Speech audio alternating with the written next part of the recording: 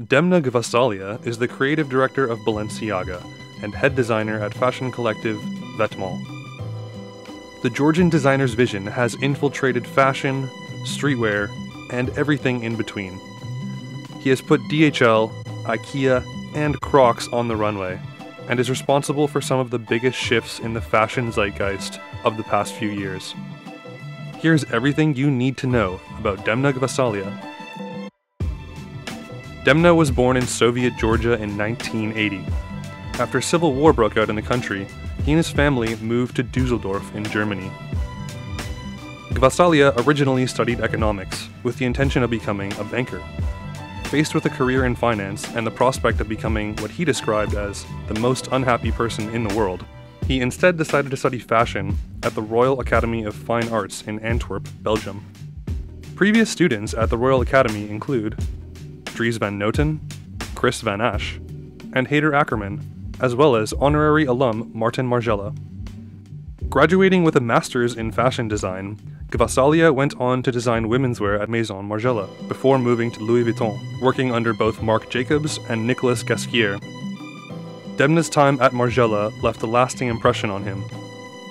One recruiter for the house even described Demna as Margiela's spiritual son. In 2014, Gvasalia launched Vetements. The design collective was initially made up of seven members, including his brother Guram, who handled the commercial side of the business, as well as Russian stylist Lotta Volkova. Vetements' aesthetic was characterized by rough, uneven jeans, ironic slogan tees, floral dresses, and double XL outerwear. The brand's offbeat look was combined with street cast models and shows at unconventional locations, like underground sex clubs and Chinese restaurants. Vetements brought a new wave of energy to the Paris fashion scene. After just two seasons, Gvasalia's brand was nominated for the LVMH prize in 2015. The brand made headlines with tongue in cheek pieces like DHL t shirts and massive Titanic hoodies, which were later worn by unlikely streetwear aficionado Celine Dion, who sang the movie's theme tune. Kanye West was spotted in one of Vetements' metal inspired hoodies, and even attended the brand's Spring Summer 16 show. By Fall Winter 16, Vetements' collection included references to Justin Bieber, nu metal, and American football shoulder pads. Gvasalia has also drawn from his time living in Germany when designing for Vetements. He made Polizei police jackets and tributes to Rammstein, and has used other German phrases like Weltschmerz, roughly translating to world pain. Back in October 2015, it was announced that Demna would be replacing Alexander Wang as the creative director for Balenciaga.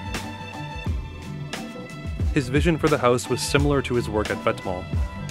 He brought mundane clothing, unconventional advertising campaigns, and dadcore styles to one of the world's most prestigious luxury brands. Since Demna joined the house, he's put $850 luxury Crocs, IKEA inspired bags, and insane triple soled sneakers on the runway. For Fall Winter 17, the designer paid tribute to US presidential candidate Bernie Sanders. Gvasalia reworked Sanders' logo into Balenciaga's runway show, which even got the brand a shout out on CNN. Uh, did you ever did you ever think that you would become a, a fashion icon? no, not quite, Jacob. Demna's work is always making headlines, and one of the designer's biggest moments was when he put a luxury version of IKEA's 99 cent Frakta bag on the runway. IKEA even fired shots at Demna's homage, with their own adverts for the bag, and soon Instagram was flooded with people making their own novelty IKEA products, as people shredded their bags and turned them into everything from thongs to sneakers. Balenciaga's Fall Winter 18 show featured a mysterious phone line that led to nowhere. But it's not all jokes and catwalk memes. The same season included a collaboration with the World Food Program, which was matched with a $250,000 donation to the charity. Demna Gvasalia will go down in history as one of the first designers to truly understand internet culture. His runway memes are designed to break the internet, and his outrageous items ensure that he's one of the most talked about designers working today. However, as his recent collections speak more to earnest ambitions such as ending world hunger, perhaps it's too early to say what the long term influence of this outlier fashion designer will be. For more on Demna Gvasalia, Vetements, and Balenciaga, head to highsnobiety.com.